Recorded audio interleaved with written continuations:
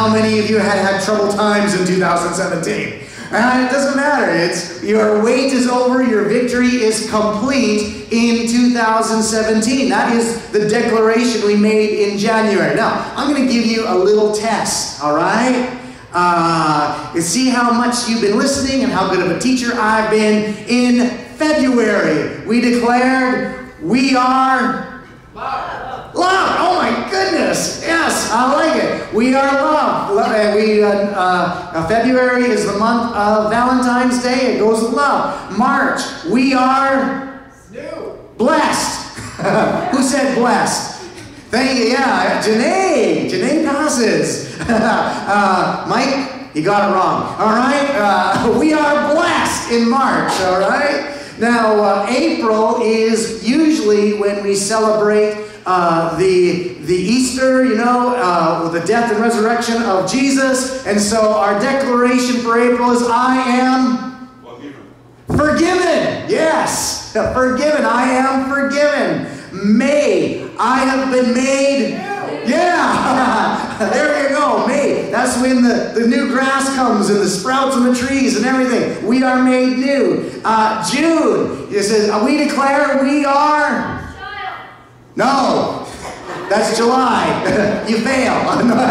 Ja- Jamie, you're so close. In June, school is out. So in June, we declare we are free. Free, yes, free. Now, Jamien's already given you July. July, I declare I am God's child. Say it out loud, Jamien. There you go. There you go. August and September. This is a little more recent. We put this together. I declare I am.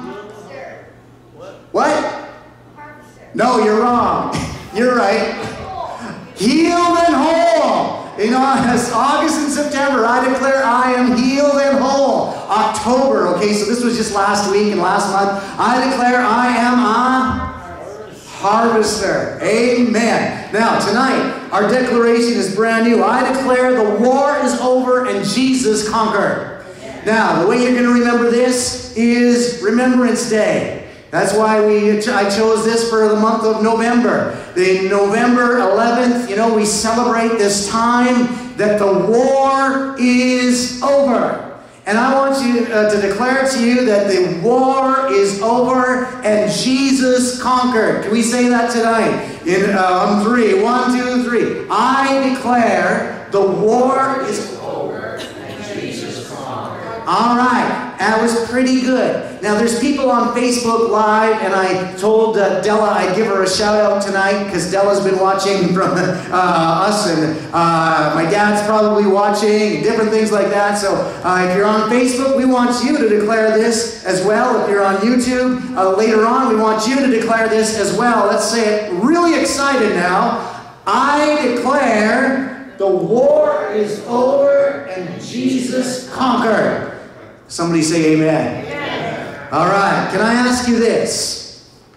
We're going on questions. What were Jesus' last words on the cross? Don't put it up yet.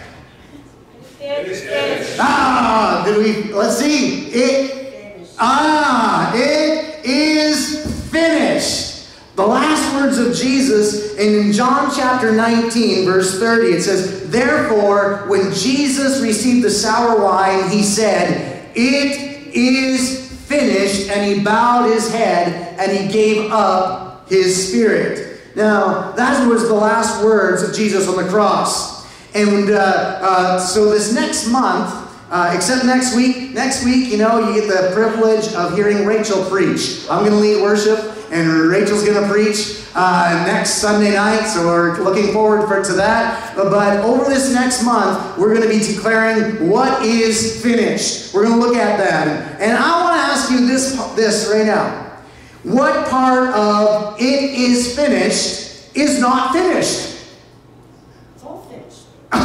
Oh, yes, it's all finished. Nothing. It is finished means it is finished. I often uh, say this to my kids what part of no do you don't understand? You know? Uh, what part of it is finished don't we understand? What part of it is finished don't we understand? Why do uh, many believers and many Christians uh, live like it isn't finished? And, and I know we can laugh about this, but in the lives of many Christians, and sometimes even in our own lives, okay, we don't live like it is finished. And, and part of the reason is because we actually don't know what is finished. And we're going to go over that over the next few weeks. What is finished? Do you think that Jesus just said these words because he was going to take his last breath and die and say, It is finished and, and die? You think that, that, that, that's just it?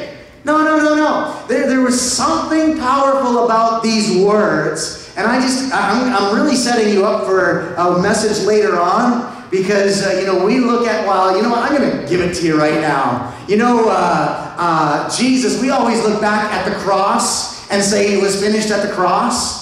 Go to Revelation chapter 13, verse 9. It's not even in my notes, uh, but I, I'm just, I love this. And it says this, uh, verse 8, sorry. Uh, Revelation chapter 13, verse 8. Oh, here, here, here it is. If any man, oh, sorry, and all that dwell upon the earth shall worship him. It's talking about Jesus. All that dwell upon the earth shall worship him, whose names are not written in the book of life of the Lamb. Look at this slain from the foundation of the world. Did you know that before Jesus went to the cross, it was already finished? Isn't that awesome? slain before the foundation of the world. Now, my Bible, it, it, it's a little bit different, but in my little appendix, it says, written in the book, slain from the foundation of the world. It's in my appendix. I, I, I like the King James. The Lamb was slain before the foundation of the world. It was actually finished before the cross. Now, I'm not, I'm going to bring that up in a few weeks. I'm going to teach on that because that's nothing to do with my message tonight. All right? Uh, I, I, just wanted to give you a little a precursor of what's going to happen. Now, uh, what kind, if Jesus just said it is finished and died, what kind of life giving, demon casting, dead raising, sick healing, overcoming death is that? Nothing. Nothing at all. So, what was the power in the death and resurrection of Jesus? What was so powerful that Jesus cried out, it is finished. Well, we're going to go to a place uh, right now to start in Second Corinthians chapter 5, verse 19. And uh, it says this. I don't like this translation, Doris. I put it in there, but it is, I, I don't like that one. It says this God was in Christ reconciling the world to himself, not counting their trespasses against them. How many are glad that God is not counting any of your trespasses against you? I am so glad that God is not counting any of my trespasses against me. And He has committed unto us the word of reconciliation. Now, there's just a couple of things uh, I just want to point out here, and, and some of the stuff you've heard me say over and over and over again, but I need to say it over and over and over again so that you know it. The very first thing is, where was God when Christ was on the cross? God was in Christ reconciling the world to himself. And, and we know we've got this theology that, that uh, when Jesus was on the cross and he said, My God, my God, why have you forsaken me? We've been taught that God the Father turned his head uh, away from Jesus because he could not look at sin, and it's wrong, wrong, wrong. Jesus, when he said, uh, uh, uh, My God, my God, why have you forsaken me? He was going right back to Psalms chapter 22 that was written a thousand years before Jesus died. And in Psalms 22, if you look through it, all of a sudden you will see that day the, the, that Jesus died. He says, they gamble for my robes and my, uh, uh, my side is pierced and all these things. And in verse 24 of Psalms 22, it says, But your face you did not hide from me. Isn't that awesome? You see, for the Father to turn his back on the Son would be bring disunity in the Trinity. The Father would have to be in, uh, in disunity from his Son. And I want you to know tonight there is total unity, total triunity in the Trinity, and they cannot be separated. Jesus said, If you've seen me, you've seen the Father. He says, I and the Father am one. What part of I and the Father am one don't we get? He says, The Father is in me, I'm in the Father, and we're in you. And then we're all one together. Uh, it- you cannot separate the Trinity. They, they are one. So, first of all, the Father was in Christ reconciling the world to himself. Now, this is kind of interesting too. Does it say that he was reconciling only those who believe to himself? No. It says the world. This is really, really hard, and it's gonna be, it's gonna make some Christians mad. But do you know that even non-believers have been reconciled to God? Now we're going to look at something about reconciliation here. The uh, and I want to spend a, a, a minute because I think we get some wrong thinking by not knowing the full implication of the word reconcile.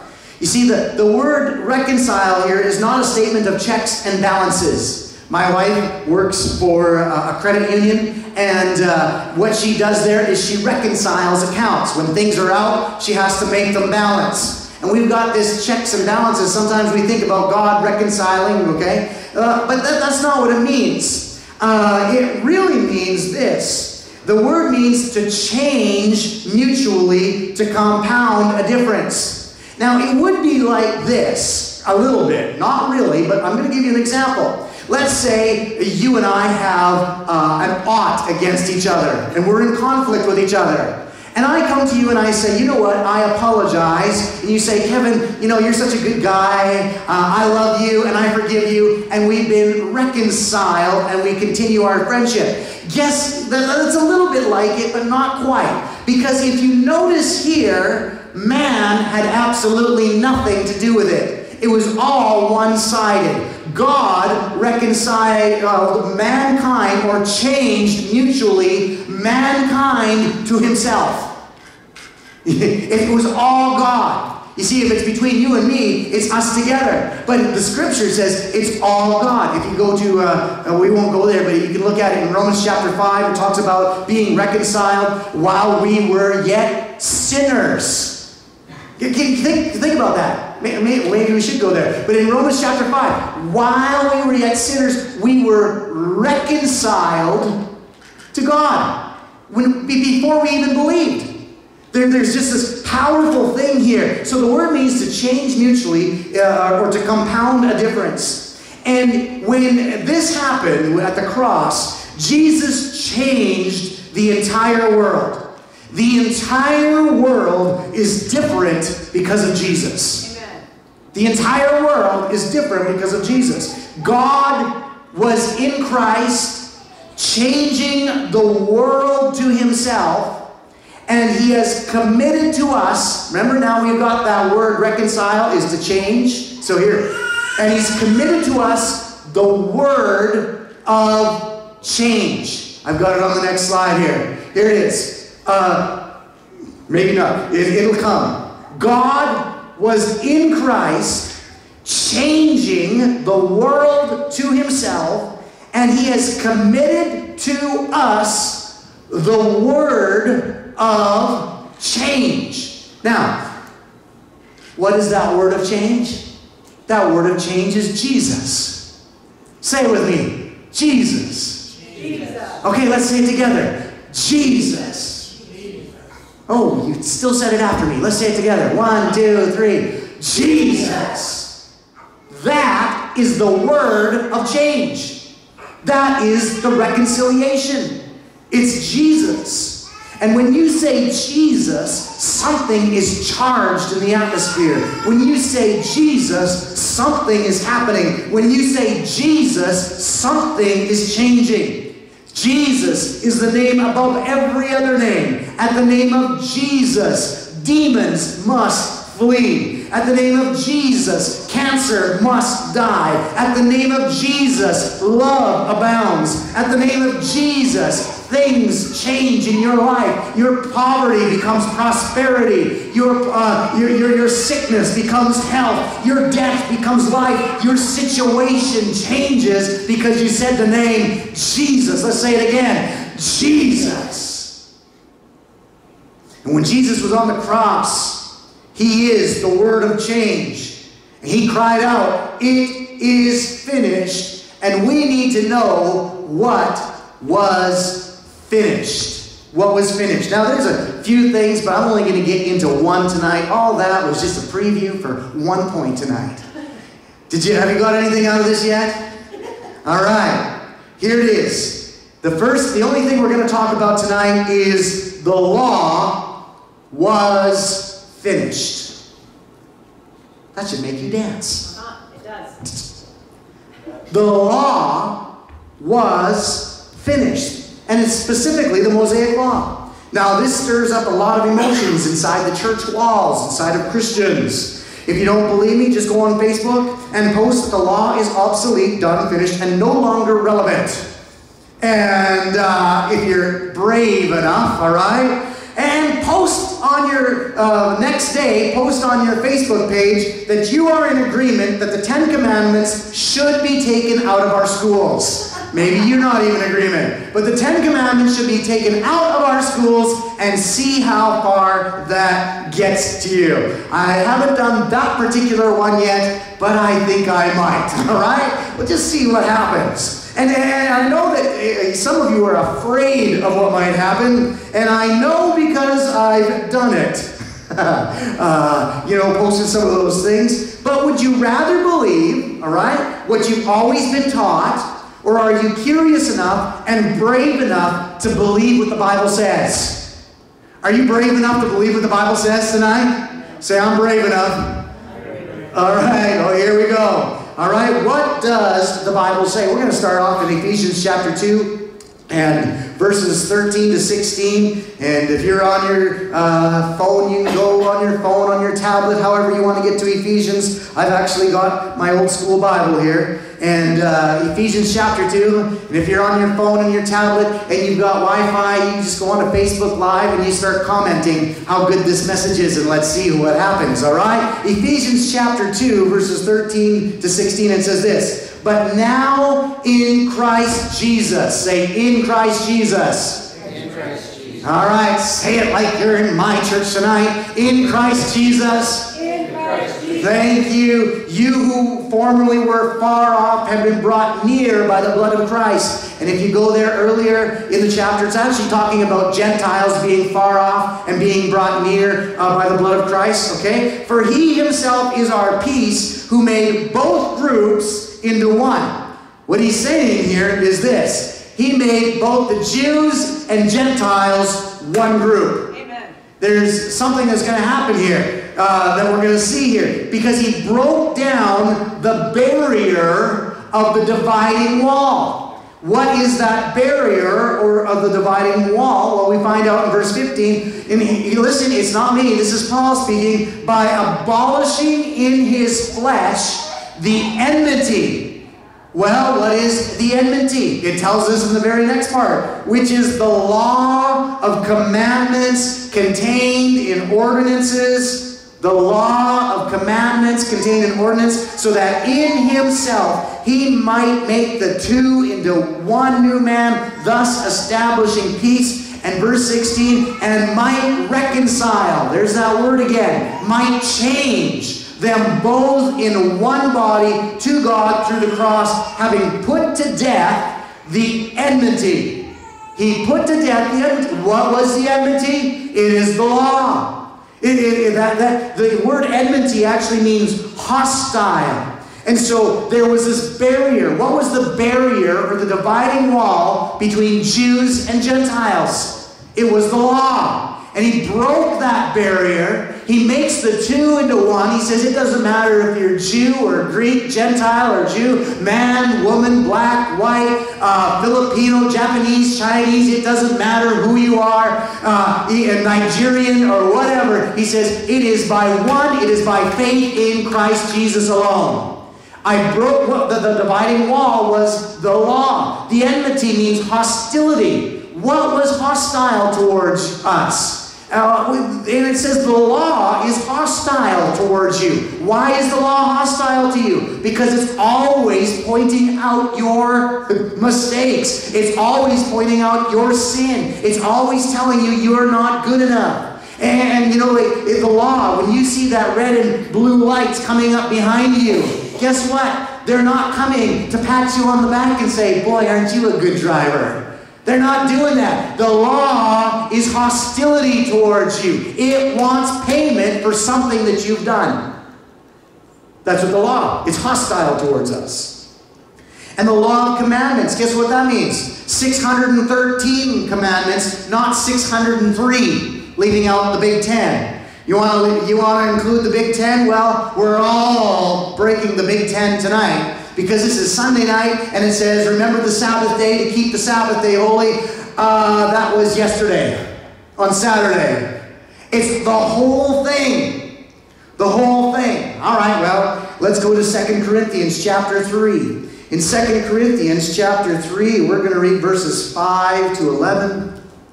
Second Corinthians chapter 3. As we go through this tonight, Second Corinthians chapter 3, verse 5. Not that we are adequate in ourselves to consider anything as coming from ourselves, but our adequacy is from God. Say, God makes me adequate. Aren't you glad that your adequacy isn't dependent on you? It's dependent on God. That this is just an amazing thing. But now listen, eh, who also made us adequate as servants of a new covenant. Say new covenant. If it's a new covenant, it's not the old covenant. He says, a new covenant, not of the letter, but of the Spirit. Well, what's the letter? Let's go on. For the letter kills, but the Spirit gives life. Well, what's the letter that kills? Well, eh, it, it goes on. But the, if the ministry of death, well, now not only does it kill, it's a, it's a ministry of death. How many would love to go to that ministry of death meeting tomorrow night? You know, the ministry of death, right? Here it says, in letters engraved on stones. What letters were engraved on stones? The Ten Commandments. Uh, and this says, and if it, in letters engraved in stone, but the ministry of death, in letters engraved on stones, came with glory, so that the sons of Israel could not intently, look intently at the face of Moses. Now we're getting to real specifics. This is when Moses came down the second time because the first time he got mad and broke them, uh, broke those stones, and uh, he went back up, and God gives him new stones, and he comes down, and his face is shining so brightly that, and, and sunglasses weren't invented yet, that the people of Israel said, Moses, we don't have sunglasses, put something over your face because it's too bright. All right, so we know now that he's talking about the Ten Commandments. The face of Moses, because the glory of his face, fading as it was, how will the ministry of the Spirit fail to be even more with glory? That's the question. How can the Spirit not even be more glorious? Uh, in verse 9, for the ministry of condemnation has glory, much more, say much more. Much more does the ministry of righteousness, the ministry of righteousness abound in glory. For indeed, what had glory, in this case, has no glory, because of the glory that surpassed it. For if that which fades away was with glory, much more that which remains is in glory. What remains? Righteousness. That's what remains. And, and so when we go through this, uh, we, what is the ministry of death? Well, it's the letters engraved in stone. What are the letters engraved in stone? It's the Ten Commandments. And we've, we've gone through this, what, how this glories, like this glory of righteousness says the, the, the first covenant came in a glory where Moses' face shone. But this surpasses. You know, it's like taking a flashlight and shining it in the middle of the day. And not just that, take the flashlight and point it right towards the sun and all of a sudden, you don't see the light anymore. And as, and as that flashlight gets closer to the sun, the brightness of the sun envelops that so that it doesn't have any glory anymore. That light is not even shining. You're seeing the light from the sun. I want you to know that our light as Christians is in righteousness, not in the law. And the righteousness that God gives us has given us freely and not the law. And, I have to ask myself this question Do you know why we have so many dead churches and dead Christians today? It's because we're preaching the law instead of preaching Christ. We're preaching what is sin rather than our identity of righteousness in Christ. And if you go and you go into a church and you just keep hearing how, how sinful you are, how bad you are, and how this has to change, and how that has to change, you know, pretty soon you just feel condemned all the time. It's, it's, it's just no wonder that there's Christians today that don't go to church because every time they go to church, they're just filled with condemnation. Well, the pastor said I got to do this now. I got to do that.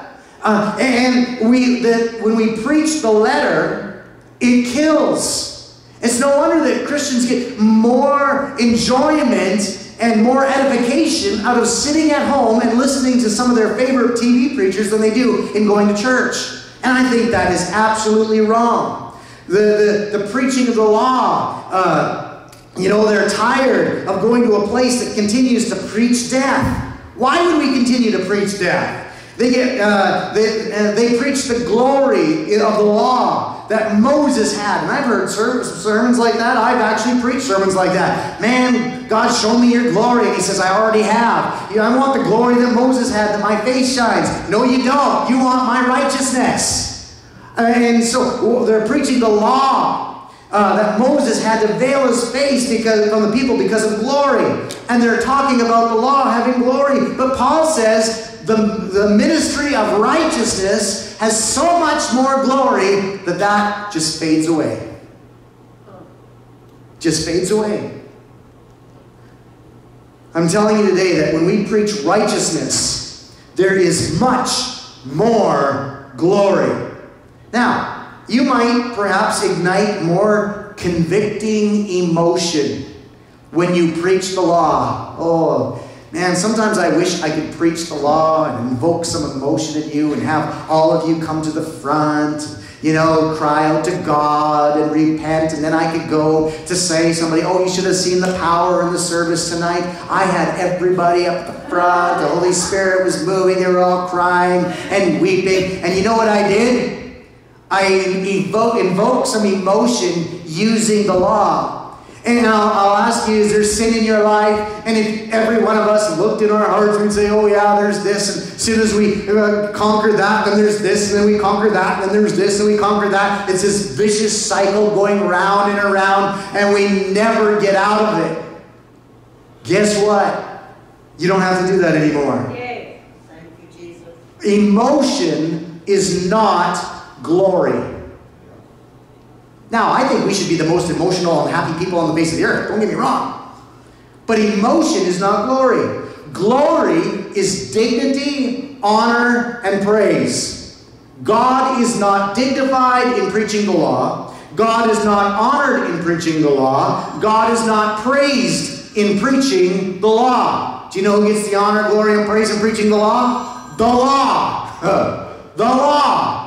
Yeah, Moses. God is dignified when we preach the righteousness of Christ in you.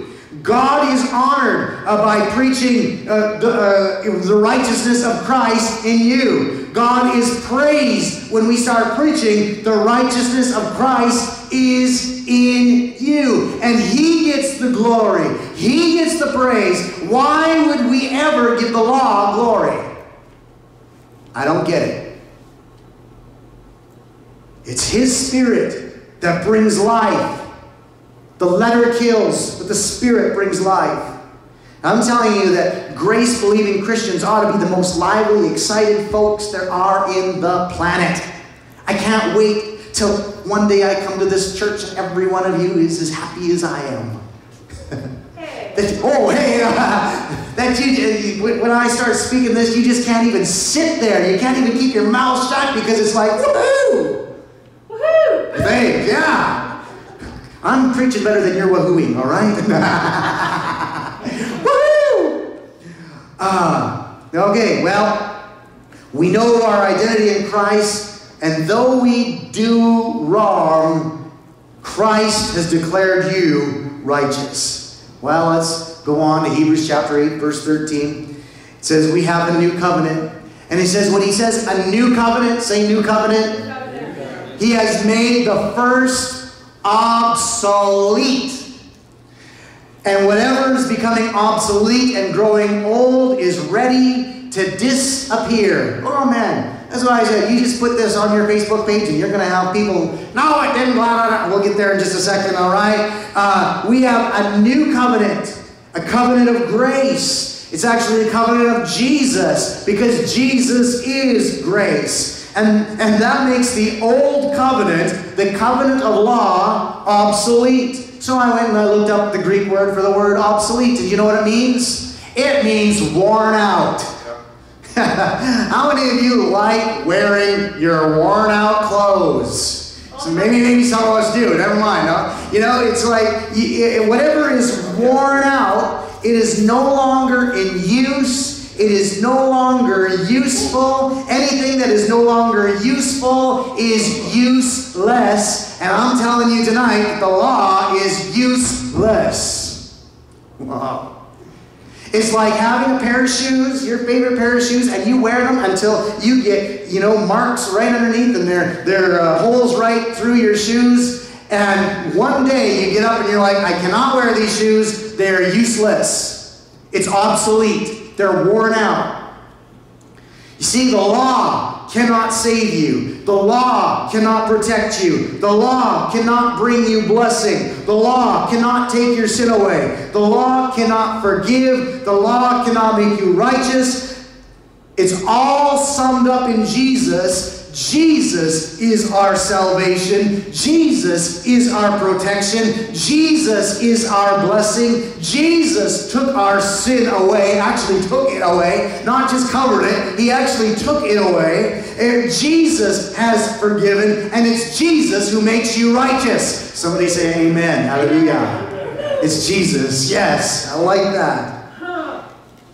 Jesus did it. The Romans says this what the law could not do because it was weak in the flesh, Jesus did. Jesus did. Yeah, and one more, just because I'm on a roll here. Jesus is the end of the law. Romans chapter 10, verse 4 says, Christ is the end of the law for righteousness to everyone who believes. Christ is the end of the law. You see, we, we found out that the law was a barrier between man and God. It was a barrier between Jew and Gentile. The law was hostile against us. It always put condemnation and shame on us. The law was a ministry of death. The law is worn out. The law could not make us righteous. The law could not forgive. The law couldn't do anything. So why are we still pushing the law in our churches and belief systems? There's absolutely no value in the law for you and me. None. Well, the very first verse people will say, well, you better look at Matthew chapter 5, verse 17. Well, let's go look at Matthew chapter 5, verse 17. This is Jesus in the Sermon on the Mount. And Jesus said these words, so I actually believe uh, these words that Jesus spoke. And uh, Matthew chapter 5, verse 17, Jesus says this. Let me just read it for you. I've got it in my tablet, but I'm going to read it out of the Bible for you. It says this Do not think that I came to abolish the law or the prophets. You know that when you have a little bit of a discussion about this, they don't bring up the prophets. You know, Jesus, He, uh, he don't think that I came to abolish the law or the prophets. I did not come to abolish, but to fulfill. And I love verse 18 because once you understand verse 17, verse 18 is amazing. For truly I say unto you, until heaven and earth pass away, not the smallest letter or stroke shall pass from the law until all is accomplished. And it was finished at the cross. Now, I guess, sorry, when people bring up that scripture to me, I have to say, there it is. I, I guess you got me. I guess all these other scriptures really, I guess they don't matter. I guess the law isn't. Uh, I, I guess that it is necessary to have the law, and Jesus didn't abolish the law. Well, except, what does the word fulfill mean? The word fulfill means to satisfy, to execute, to finish, to expire, to bring to an end. Jesus says, Do not think that I came to abolish the law or the prophets. How many know there's like no new prophecies coming out about the coming Messiah? How many know that that was finished in Jesus? How many know that the prophets and the law are in the same verse here? He says, I did not come to abolish the law or the, or the prophets. I actually came to fulfill, to satisfy. Jesus satisfied every messianic prophecy there is in the Old Testament. I'm not even sure we've really discovered them all, but he fulfilled them. And Jesus came to satisfy, to execute, to finish, to expire, and bring to an end the law. You see, uh, to, be contextual, you know, to be contextually accurate, the prophets were prophesying about Jesus. Jesus is the end of the prophecies of the Messiah. Jesus is it. Jesus came to fulfill the law, bring it to the close, so that you and I can have a new covenant. In fact, this, this gets me really riled up. People, uh, you know, and I used to believe this, that God's wrath was coming on mankind and Jesus took the wrath of God for us so that we don't have to experience the wrath of God. Except that's not in the scripture. Do you know what causes wrath? Sin. Do you know what brings forth sin? The law. If there is no law, there is no sin. And what Jesus did, he took the punishment of sin, not the punishment of God, the punishment of sin into his body. And it's because it says the wages of sin is death, but the free gift of God is eternal life. And did you notice that it doesn't say if you don't believe, you know, the wages of sin is death, but there's a way if you believe you can have eternal life. It says no, the wages of sin is death, but the gift of God to you is eternal life through Jesus Christ his son. Why? Because he took the wrath of sin in his body. In the wrath of your sin, not the wrath of God, the wrath of us. Sin. You see, you can't have a new covenant while the old one is still in effect. So we couldn't even have, you can't have law and grace. Because you can't have a covenant when one is still. I love the, the analogy in Romans chapter 7. Paul talks about this marriage. How many know that in Canada, you cannot get married to another person if you're still married to somebody? It's not legal. You can't do it one marriage has to come to a close or an end in order to be married again. Now, Paul in Romans chapter 7, he says that this law and grace is like a marriage. He says the law had to die so that we could be free to marry another. It says you were married to the law, but now it had to die so that you can be married to another. Now we're married to grace. Yeah. I'm married to grace. The law is dead. Jesus had to make the old covenant invalid, obsolete, in order for humanity to live under this new covenant, not based on law, but based on faith in Christ Jesus. And when Jesus said, It is finished, he really finished the law. I'm going to stop right there. In a couple of weeks, we're going to talk about sin is finished, death is finished, and Satan is defeated. Amen. Jesus conquered. It's already done. Amen. Amen. We, we're going to take communion tonight. I'm going to invite our musicians. They have a song. Rachel said, Kevin, should I play this song for communion? And I looked at the title of the song. You know what it's called? Finished. Finished. Did you get something out of that tonight? Yeah. Were you encouraged? Sometimes it's not about getting something, sometimes it's being encouraged in what you already know. Sometimes it's having the, uh, the knowledge to say to people, even believers, why are you living after the law? Why are you preaching the law at me when the law's dead? The law actually just kills. You know, I was listening to uh, a grace preacher this afternoon.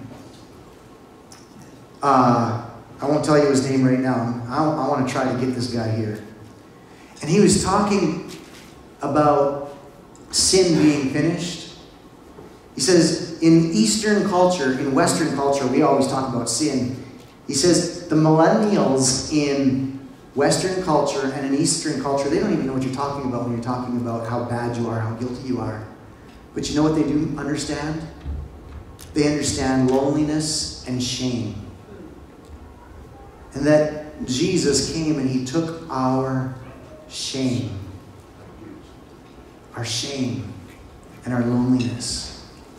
Man, I think there is a way more beautiful way to present the gospel. You know, uh, uh, our, our young people, they don't, you know, they do stuff, they don't feel guilty about it. It's, it's not a matter of guilt, but it's a matter of shame. Shame. Can we preach a better gospel?